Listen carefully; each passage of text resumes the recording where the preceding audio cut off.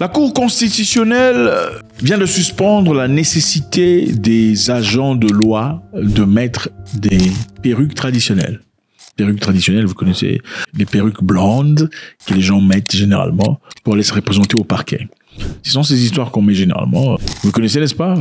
Je trouve ça absolument ridicule. Surtout partant d'une personne ayant une peau française. Mais ce genre d'histoire, ça, ça, ça prouve combien le colonialisme était effectué de manière splendide. Très intéressant. La Cour constitutionnelle du Malawi a suspendu, mais malheureusement temporairement, et pour des raisons des températures grimpantes dans le pays. Ouais, voilà, malheureusement, parce que je sais beaucoup pensaient que, ah, yeah, finalement, ils ont compris qu'il fallait une certaine liberté mentale. Ce n'est malheureusement pas pour ça. C'est parce que la température au Malawi, ça grimpe comme pas possible. Et aujourd'hui, ils vivent régulièrement autour de 45 degrés Celsius. Imaginez-vous, 45 degrés chaque jour.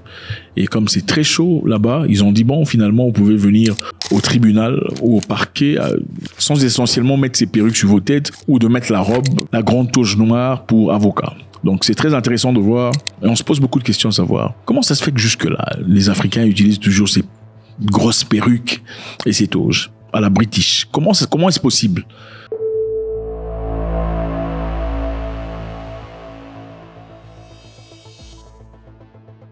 La perruque au tribunal vient d'une histoire il y a très longtemps en Grande-Bretagne. En effet, on dit qu'il y avait, une forte propagation de syphilis à l'époque. Et comme vous savez, la syphilis a pour symptôme aussi la perte de cheveux. Et euh, les hommes, comme il n'y avait pas de traitement okay, à l'époque, n'y avait pas de traitement. Les antibiotiques contre la syphilis sont venus à peine en 1942. À l'époque, au XVIIe siècle, les gens qui étaient atteints de syphilis perdaient leurs cheveux. Alors qu'est-ce qu'ils faisaient? Ils cherchaient des perruques. Une perruque faite de cheveux de cheval pour mettre sur leur tête et se couvrir. La question de s'évader un peu de la honte. Voilà, parce que voilà, avec un homme jeune sans cheveux, ça dénotait directement d'une vie promiscueuse. Alors pour éviter cela, ils achetaient des perruques et mettaient sur la tête. Et c'est graduellement, avec le temps, euh, bizarrement, c'est parti de couvrir ses cheveux pour pas montrer qu'on est atteint de syphilis, à devenir un symbole de grandeur, de grandiosité, de splendeur, de richesse et tout le bazar. Donc, les gens à l'époque portaient aussi la perruque pour montrer qu'ils sont riches. Un peu comme les chaînettes aujourd'hui. Okay, chaînettes en or, bijoux en diamant. C'est pour montrer combien on est riche. Un sac Gucci prochainement. Donc ça évolue. C'était d'abord les perruques blanches, fait des cheveux de cheval, à Chenette, maintenant ça devient des sacs Gucci, chaussures le bout, enfin pas chaussures le bout ça veut pas, enfin mais vous comprenez, les montres chères, les montres Rolex, c'est tout le bazar. Donc, avec le temps, comme ça a continué dans l'aristocratie, ça a aussi été adopté par les gens autour du système judiciaire. Et aussi avec le temps, puisque les gens le mettaient très souvent, on a commencé à associer la perruque et la toge au système judiciaire. Donc, vous voyez un peu comment les histoires bougent d'un truc à un autre. Et aujourd'hui, beaucoup de pays en Afrique, le Ghana, le Kenya, le Nigeria, l'Afrique du Sud, la Tanzanie, l'Ouganda, la Zambie, le Zimbabwe, aujourd'hui, les juges sont obligés de mettre ce British style weave, donc ce style anglo-saxon. La question qui se pose est très simple. Il n'y avait pas de système judiciaire qui fonctionnait avant l'arrivée des colons. Bien sûr qu'il y avait un système judiciaire africain, dépendamment de chaque clan, chaque euh, groupement. Il y avait un système judiciaire qui était appliqué. Et euh, c'est ça. Donc quand ils sont venus, ils ont imposé leur système, ils ont effacé le système africain, comme ils ont effacé les religions africaines. Évidemment, ça, ça vous dérange parce que beaucoup n'aiment pas entendre ce genre de conversation. C'est ça. C'est ça. C'est vrai. C'est une réalité. Donc, vous voulez me dire que vos grands-parents, vos arrière-grands-parents, Dieu ne les écoutait pas avant l'arrivée des Blancs? Dieu n'exauçait pas leurs prières.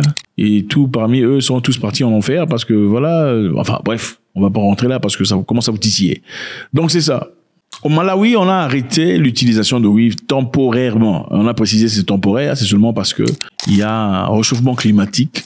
La chaleur est insupportable. Alors, euh, ce qu'ils ont trouvé comme solution, c'est d'enlever ce truc de leur tête. Ce qui aurait été plus important serait euh, de plutôt abolir ça. Parce que voilà, à un moment donné, il faut, faut évoluer. Okay? Euh, c'est vrai que tout ce que les Blancs apportaient ne peut pas être rejeté. On ne peut pas tout rejeter au nom de la nouveauté. Parce que voilà, les Blancs ont aussi créé des bonnes choses. Les, vos tarmacs, vos routes, tout ça, euh, ce sont des créations de Blancs. On peut pas tout rejeter, les avions et tout le bazar. Enfin bref, il faut garder ce qu'il y a à garder, il faut rejeter ce qu'il y a à rejeter. Mais malheureusement, ce qu'on rejette jusque-là, apparemment, ne fournit pas beaucoup d'efforts dans la transformation afro. Et je pense que, franchement, ça me dépasse que jusqu'à aujourd'hui, les gens vont dans un bureau judiciaire avec ces histoires sur la tête. C'est souvent fait avec les poids de chevaux Et ça peut coûter jusqu'à 6 000 dollars. 6 000 dollars sur la tête pendant qu'il y a des enfants à la maison qui n'ont rien mangé comme breakfast. C'est ça la réalité. Donc on est obligé de porter ça sur sa tête. Ce que vous remarquerez généralement en Afrique, c'est la complaisance en ce qui concerne les changements les plus élémentaires et les plus importantes. On a l'impression que généralement, les gens n'ont pas cette niaque de vouloir changer les choses. je pense que la libération des Africains ne se passe pas comme dans une chanson. Quelqu'un doit être un révolutionnaire. Et chaque pays en Afrique a besoin d'un révolutionnaire. Je donne un exemple de, euh, de Thomas Sankara dans le passé, Lumumba, qui était révolutionnaire, mais qui malheureusement, comme d'habitude, sont toujours abattus par leurs frères. Thomas Sankara a été abattu par son pote, son frère. Blaise Compaoré, qui était son meilleur pote. Et Sankara lui-même à l'époque disait, si Compaoré me voulait du mal, il n'y a rien que je puisse faire, parce que c'était son proche. De même pour Lumumba. Lumumba a été déstabilisé, vendu à sa perte par Mobutu, qu'il a enseigné, qu'il a entraîné, qu'il a pris à ses côtés. Voilà pourquoi moi je n'ai fait confiance à personne. Et ne m'appelez pas mon frère, je suis pas votre frère. Mes frères sont issus du ventre de ma mère. Hmm. On peut rester amis, mais se traiter convenablement en tant qu'amis, je m'en fous déjà. Parce que les gens ne sont pas bien. Ok? La plupart des gens que vous rencontrez dans ce continent sont mauvais, méchants. Ils ne veulent pas vous voir avancer. Vous pouvez emmener même des cures contre l'Ebola, on dira que c'est faux. Non, ce n'est pas vrai. Tu peux emmener des cures contre le sida. On dira que ce que tu as fait ne t'appartient. Si ça fonctionne pas, tu es un imposteur. Si ça fonctionne, tu es un imposteur aussi. Ce n'est pas de toi, ça doit venir de quelqu'un d'autre. C'est comme ça dans le continent. Dans ce continent, vous voyez votre frère se faire agresser par une autre personne. Votre frère. Vous ne faites rien. Vous regardez à distance. C'est comme ça que ça, se passe. À moins que vous ne soyez nigérian. Et ils sont complètement différents de nous. Regardez les Maghrébins, comment ils sont. Attaque, un Marocain devant les Marocains, tu vas voir comment. Même s'il ne connaît pas, on va te finir, on va te, on va t'enlever la peau. Mais va attaquer un, je sais pas, un francophone. Ah, nous ne sommes pas égaux, nous ne sommes pas les mêmes. Je suis désolé. Nous essayons ici de trouver une façon de nous emmener à être les mêmes, parce que nous ne le sommes pas. Et il faut le dire. Je pense que certains d'entre nous avons le courage de le dire. Et quand on le dit, on est, euh, on est crucifié. Bon, on s'en fout. Euh, crucifié, c'est quoi? Crucifiez-nous. Les histoires comme les weaves là sur la tête, ça ne doit plus exister. Les choses telles que un Libanais doit dominer sur un Africain sur le continent, ça ne doit plus exister. Les histoires où un Chinois a priorité à l'aéroport. Vous savez, généralement, quand vous allez en Europe, ou aux États-Unis, ou ailleurs, dans quelconque pays qui se respecte, même l'Afrique du Sud, on écrit Sud-Africain local, ou Européen ici, étranger là-bas.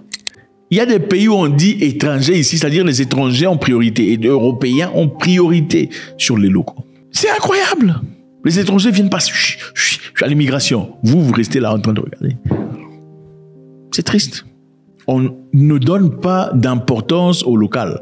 Et vous parlez de fraternité. La fraternité, à moins que vous ne soyez sorti du même ventre ou du ventre de votre mère, ça se crée, ça se tisse, ça se bâtit. Ce n'est pas automatique. Ce n'est pas parce que vous avez la même couleur que vous êtes frères. Non, les frères sont ceux qui combattent à tes côtés, qui luttent avec toi. Les frères sont ceux qui soutiennent tes idées. Et je sais pas pour dire qu'ils doivent à 100% soutenir tes idées. Ce sont des gens qui peuvent remettre tes idées en question, mais avec l'objectif de construction générale. Pas dans l'objectif de t'écraser. Ah, tu ne connais pas. Tu n'as pas été bien éduqué. Tu n'es pas parti à l'école. Tu as des lacunes. C'est comme ça en Afrique. Le principe du crabe, n'est-ce pas? C'est comme ça. Tu n'as pas de, compétences, tu as des lacunes, tu es trop court, tu n'es pas assez galant. C'est comme ça. Tu n'es pas assez euh, euh, ficelé, tu n'es pas. Voilà, c'est comme ça. Contrairement à eux, même en Afrique du Nord, là-bas, contrairement à eux, ils se propulsent, ils cèdent. Regardez les sportifs de l'Afrique du Nord. Ce sont des gens qui avancent facilement. Le soutien de leur peuple est incroyable. Regardez comme Badr arrive à se battre.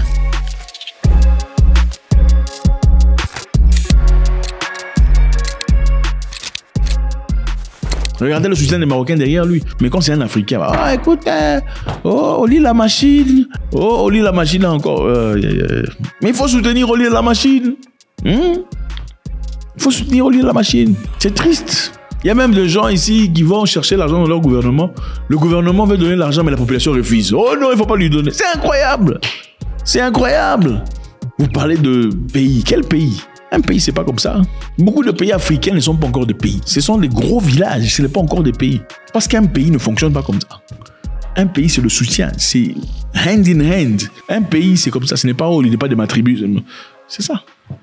Merci infiniment, les amis, c'est toujours avec beaucoup de plaisir. God bless.